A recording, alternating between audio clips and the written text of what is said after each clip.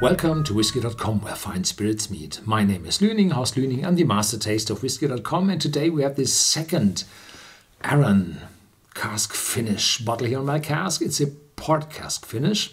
It's 50% ABV, quite high. It's quite mm, reasonably priced. It's 40 euros dollars pounds. It's unchill filtered, uncolored, and look at that wonderful color. So this is whiskey as it should be. Unfortunately, there's no age statement on it.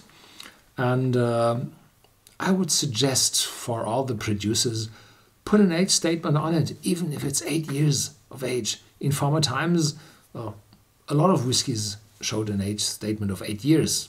So today, you have to be double digit, 10 years at least.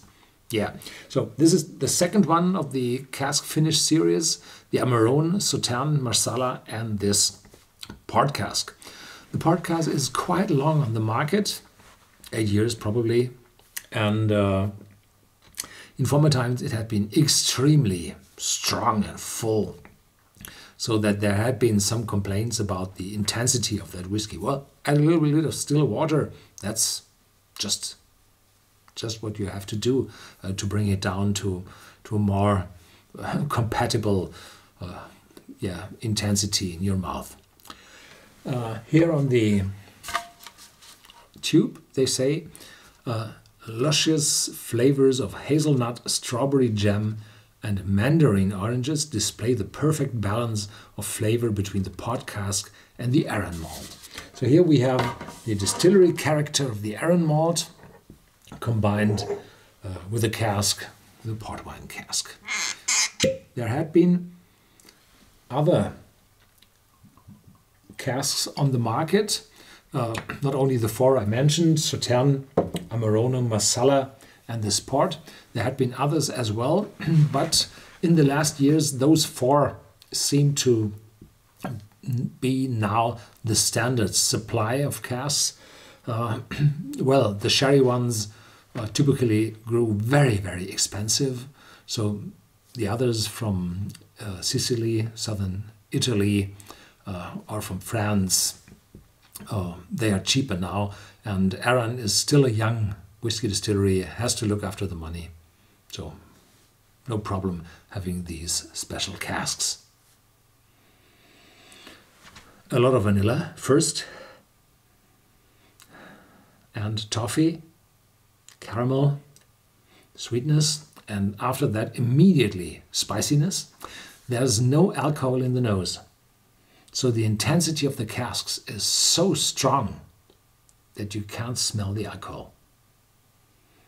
And then in the back, the citrus notes come up, but a little sweeter. So these mandarin oranges, as they said, and probably a little bit of nuttiness. And this is quite typical for sherry or port wine casks. There are some hazelnuts in it not really hazelnut, but the smell of hazelnuts. Yeah, so I tried neat uh, because I do not feel the the sharpness of the alcohol in the nose, and probably I have to add water afterwards.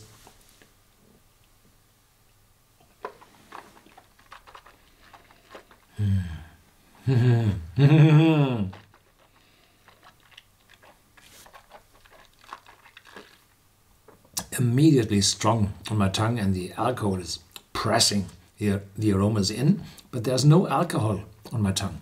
Just the aroma and those mandarins, tangerine, sweetness, little orange note. Wonderful. And combined with that is uh, spiciness. Unfortunately, I've read about uh, cinnamon. No, I don't find that. But there's baked apple, Christmas cake.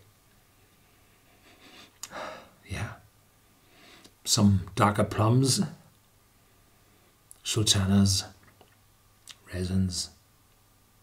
Yeah, all the full, mature port wine aromas.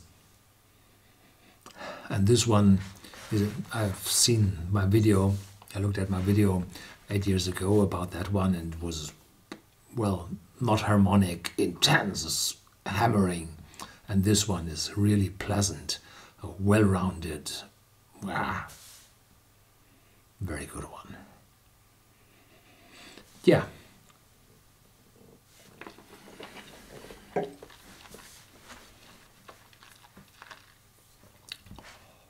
That's it for today.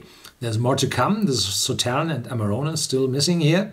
Uh, hopefully next week or the week after, I will look at those two. And uh, these Arran cask finishes sell really well. So people like the Arran malt, especially in the finishings, and the price is really reasonable, so you get everything. That's it for today. Stay tuned, there's more to come as always.